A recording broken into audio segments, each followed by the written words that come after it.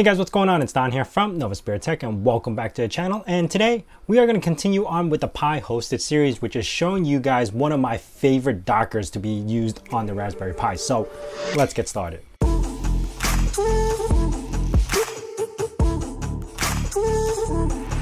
Now, if you guys have any software that you guys religiously use on your Docker setup, I really want to hear about it because I'm always looking for new software. Now, I'm not talking about services like WireGuard or even torrenting because those constantly run all day long. If anything, I probably use my WireGuard more than the software that I'm talking about now. But yeah, if you guys have any software that you guys recommend, list it down in the comments down below because I want to check it out. Now, if you guys are new to this channel, I do have a Pi hosted series where I actually created this app template made for Portainer, mainly geared for SBCs like Raspberry Pi. So all the Dockers in there works for ARM and ARM64. So yeah, basically Raspberry Pi, Khadas, Pineboard, all that stuff that has ARM CPU, you can use my Portainer app template for. It'll mostly be supported. I also do have this website called pihosted.com, which I'll leave a link down in the description below. It'll show you how to get everything up and going. And I'll also leave a link on the top left of the series, and I think we are on episode 14 or something like that. Today I'm going to keep it short and simple where I'm going to just show you guys my most used and most favorite app that I install on my Docker that basically I use every day.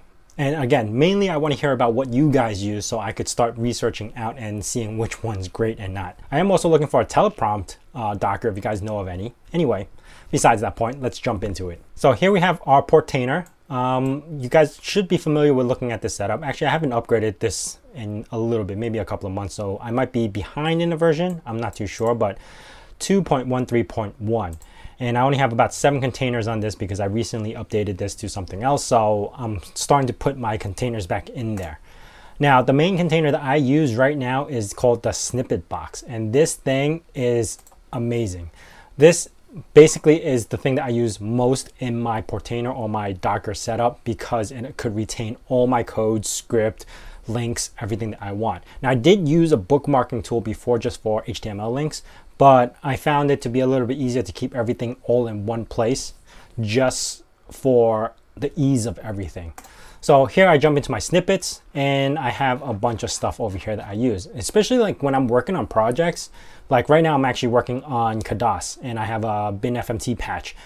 I'm working on something like this just so I could get um, actually Steam working on the Khadas, the newest version. So I was really interested in looking into uh, stuff like this. I even have hyperlinks for certain things that I'm looking for. Like Firefox now installs as a snap pack in, on Ubuntu, and I don't like the fact because I can't use a lot of my programs to transcode. Anyway, I actually have like a quick snippet of where to find um, how to install it back as a deb instead of using as a snap package. I have a uh, few codes too. Like uh, I was working with Box 86 and Box 86 and Box 64 requires a 32-bit user userland. So basically I have this quick thing that I have together that will give me the entire 32-bit uh, userland. So all I have to do is instead of looking into this, I know exactly what it works. I can just hit copy code, go into a terminal and paste that code for the board that I'm working with. So everything just works right out of the bat with that. That's why I really like this snippet box because it actually just pulls everything that I need. Uh, same thing with self-signed certificates. If I need it, I could just copy code and it'll self-sign a certificate for me. So I love using this a lot, like religiously. And the most recent thing, like I said, I'm working with the Khadas from here. Um, this was a video that I did a couple of days ago, which is the Copilot. I just copied a backup of it, basically read text from image. And if you view, this is a Python code. And you can mark it as such, just name it Python or something like that. Adding code to this, I could just go into the editor and just basically type in whatever I want. The best thing about this is that I could use anything I want. Hyperlink, shell, Python, HTML, whatever I have, I could just put it as a code. And the main thing is that if I go into home, I could search for all my stuff. So I really do like all my stuff in one place and yeah, this is a great application I use. Anyway, to get this installed, it is in my app template. You just have to go into app template and search for snippet box. Oop, not up here, but uh, down here. Snippet box right here.